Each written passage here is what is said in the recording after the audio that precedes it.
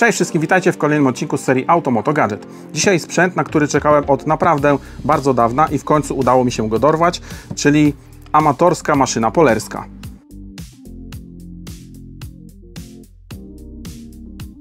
I od razu chciałbym zaznaczyć, że to będzie właśnie taki odcinek.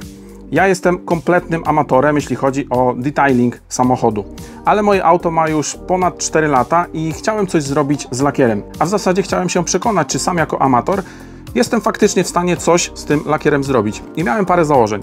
Po pierwsze, ta maszyna miała być niedroga, bo to nie sztuka kupić sprzęt za parę tysięcy złotych, no ale nie każdy chce tyle pieniędzy poświęcać, czy ma tyle na taką w zasadzie trochę zabawkę. Po drugie, jeśli kupujecie sprzęt, który jest względnie niedrogi, chciałem sprawdzić, czy ten sprzęt po prostu zadziała, czy to coś da. Po trzecie, chciałem też sprawdzić, czy ja nic złego tą maszyną swojemu autu nie zrobię. No i po czwarte, oczywiście chciałem zobaczyć, czy sam będę w stanie coś takiego obsłużyć. Także jeśli jesteście prosem detailingu, to to nie jest film dla Was, ale jeśli jesteście kimś takim jak ja, kto chce po kilku latach odświeżyć swój samochód, kto zastanawia się, co tak naprawdę można odświeżyć. Czy to będą jakieś rysy, czy to będą tylko jakieś delikatne zabrudzenia, które nie schodzą po prostu jakąś szmatką, no to to jest film dla Was, także serdecznie zapraszam.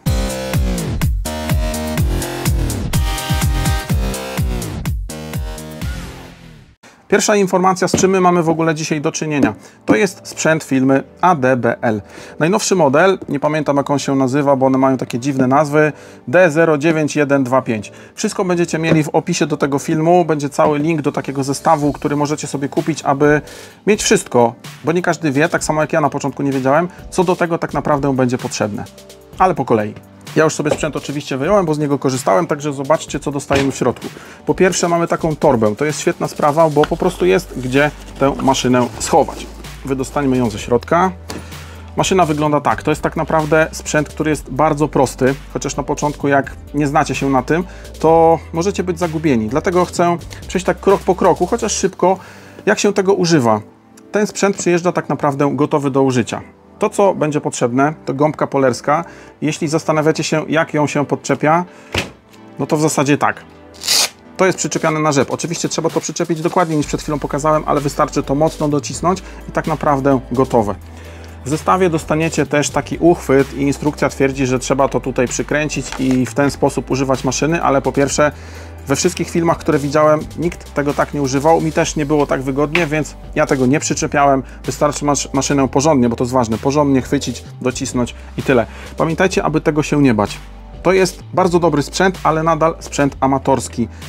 Nie powinniście nic sobie czy autu zrobić. Oczywiście trzeba zachować wszelkie środki ostrożności, dlatego że to pracuje. Zobaczycie to za chwilę, ale to tak prosto opanować, że myślę, że kompletnie nie trzeba się tego bać. Co jest natomiast do tego jeszcze potrzebne, aby w ogóle zacząć pracę z samochodem? Rzecz oczywista, musicie auto bardzo dokładnie umyć.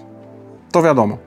Przy czym, jeśli ten samochód nawet myliście 15 minut i jesteście przekonani, że wyjeżdżając z myjni jest wszystko super, nie jest. Bo na przykład musicie dojechać z myjni do domu, albo nawet jak myliście gdzieś pod domem. Przykładowo wyobraźcie sobie, co się stanie, jeśli na masce jest kilka ziaren piasku, a Wy przyłożycie polerkę i zaczniecie polerować samochód. I właśnie po to jest glinka. Przykładowo taka firmy Workstaff. Co się z tym robi? Tak naprawdę wystarczy tę glinkę wyjąć, urwać, nie wiem, powiedzmy jedną trzecią. Ja na cały samochód nie zużyłem połowy. Także urywamy powiedzmy jedną trzecią i robimy z tego taki placek. Rozciągamy to i robimy tak, aby to było jak najbardziej płaskie. Co dalej? Taką glinkę można pomoczyć w wodzie i zacząć pracować, ale przede wszystkim, i to jest bardzo ważne, trzeba kupić taki, nie wiem jak to się dokładnie nazywa, ale powiedzmy poślizg do glinki. Mocno psikacie tym na element, z którym będziecie pracować, następnie tą rozciągniętą glinką czyścicie i na koniec wycieracie to szmatką. Co to daje? Po pierwsze ściągacie brud, którego nie bylibyście w stanie ściągnąć na przykład na myjni. Po drugie, nadacie tej powierzchni taki poślizg, dzięki czemu łatwiej potem polerować. Także bardzo fajna rzecz. Niedroga i bardzo polecam, a w zasadzie myślę, że to jest konieczne, jeśli chcecie popracować ze swoim samochodem tak porządnie. I nic mu nie zrobić. No i trzecia rzecz, pewnie najważniejsza, to pasta polerska. I tutaj kilka rzeczy, a w zasadzie takich past jest wiele rodzajów. Mój egzemplarz to pasta oznaczona jako hard, czyli do lakierów twardych, bo mój lakier jest twardy, ale jeśli macie na przykład Mazdę, no to wiadomo, że będziecie musieli kupić sobie taką pastę do lakierów miękkich. Ale to już sobie sami dopasujecie.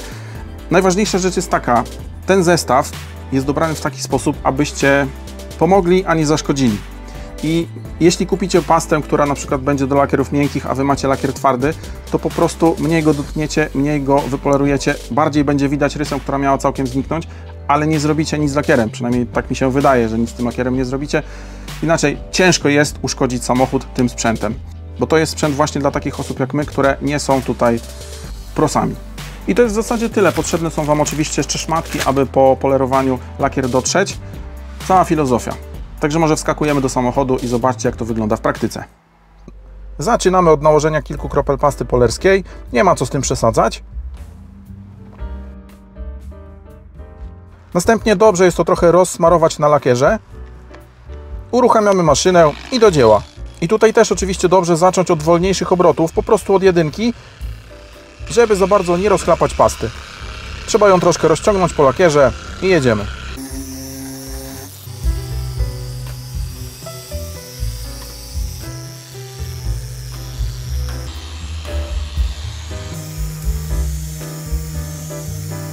Po pewnym czasie wchodzimy sobie na wyższe obroty i tak trójka, czwórka, piątka i działamy.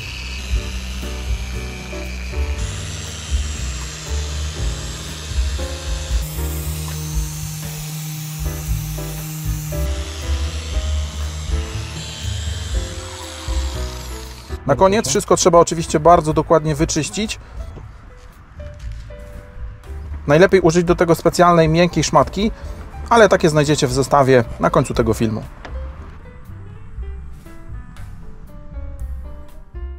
No dobra, kilka słów podsumowania i takich wniosków z użytkowania tego sprzętu. Po pierwsze, jeśli spodziewacie się, że nie wiem, uderzył w waszą maskę kamień i macie taką dziurę, to to nie pomoże. Tak samo jeśli ktoś powiedzmy przejechał kluczem po drzwiach do gołej blachy, to też tym raczej nic nie zrobicie. Czy jest lepiej niż się spodziewałem, że będzie? Nie jest lepiej. Myślę, że jest tak samo jak właśnie chciałem, aby było. Nie zakładałem, że sprzęt, który nie kosztuje 2 czy 3 tysięcy, poradzi sobie z wszystkimi rysami, które na lakierze u mnie są. Ale z drugiej strony pozbyłem się wszystkiego tego, co założyłem, że się uda zrobić. Tam, gdzie lakier nie był, że tak powiem, zarysowany za bardzo, to tego już nie widać. Samochód wygląda w zasadzie jak nowy i to jest opinia wszystkich, którzy ten samochód zobaczyli po użyciu przeze mnie tej maszyny. Zajęło mi to pewnie w sumie z myciem, z przygotowywaniem jakieś 4 godziny, może nawet 5. Także to nie jest coś, co zrobicie w pół godzinki. Jeśli czegoś takiego się spodziewacie, to zdecydowanie nie. Ale jeszcze kilka takich porad. Przede wszystkim nie bójcie się tego używać. To jest może taka dziwna rada, ale mówią do osób, które nie miały z tym do czynienia i to jest myślę, że ważna rada. Nie bójcie się tego docisnąć, nie bójcie się tym popracować, nie bójcie się używać tego na jakichś załamaniach. Jeśli macie w swoim samochodzie, tak jak na przykład ja, po boku elementy piano black, czy można coś z tym zrobić? Można. Po prostu trzeba uważać i docisnąć troszkę lżej, ale można to zrobić i wyglądają zdecydowanie lepiej. Z takich kolejnych plusów to nie dość, że możecie pozbyć się pewnych rys. I to też jeszcze może rozwinę.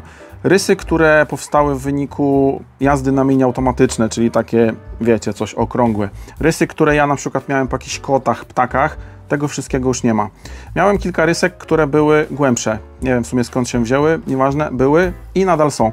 Widać je mniej, ale nie pozbyłem się tego w 100%, także też czegoś takiego się nie spodziewajcie. Ale cała reszta zniknęła. I co jest ważne, nie dość, że tych rysek się pozbyłem, to auto, a w zasadzie lakier, jest odświeżony, a jednocześnie jest zabezpieczony warstwą wosku, dzięki czemu wiadomo łatwiej potem auto utrzymać w czystości, czy po prostu umyć. I na koniec jeszcze jedna rzecz. Jeśli chcielibyście sobie kupić taki sprzęt, nie wiecie do końca co wybrać, nie chcecie czegoś pominąć, to ja ten odcinek przygotowałem z Łukaszem z firmy czystabryka.pl i w 100% polecam Wam ten namiar. Po pierwsze, możecie sobie wejść, kliknąć w opisie do tego filmu i macie gotowy zestaw. Po drugie, koszt takiego zestawu, czyli maszyna i te wszystkie dodatkowe elementy, to 650 zł.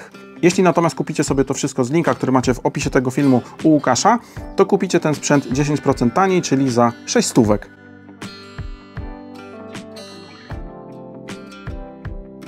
Czyli raz, że macie taniej, dwa, macie gotowe wszystko to, co jest potrzebne do odświeżenia Waszego samochodu. Po trzecie, jeśli macie jakieś pytania, to Łukasz jest świetną osobą, bo on po pierwsze potrafi wszystko bardzo fajnie, bardzo prosto wytłumaczyć, po drugie odbiera, odpisuje, więc jest zainteresowany nie tylko przed zakupem.